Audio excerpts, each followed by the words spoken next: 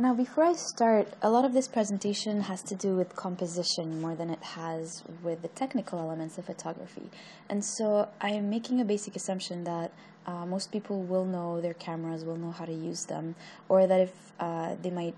want to know certain things, they can go on the web and just maybe Google that and check that out. Um, because I do believe it's not necessary to actually have the most high end, uh, complicated camera out there to be able to get a good picture. A good picture is much more about being able to see the moment and capture that. So it's uh, much more the essence of what you're taking as a picture and the understanding that you have of it and your interpretation and vision. And of course, you need the technical elements to be able to um,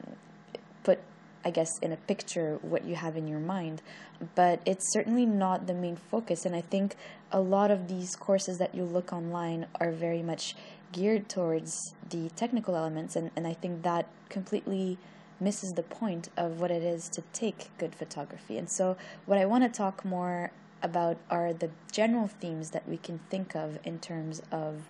um, we go out there, what exactly do we um, want to pay attention to as we have so much going on around us. Um, but just to sort of put it out there so that you know if, if you do want to get some more information, there's a few things that I think are good starting points to know about your camera um, and about photography before you actually launch into thinking of these broader themes.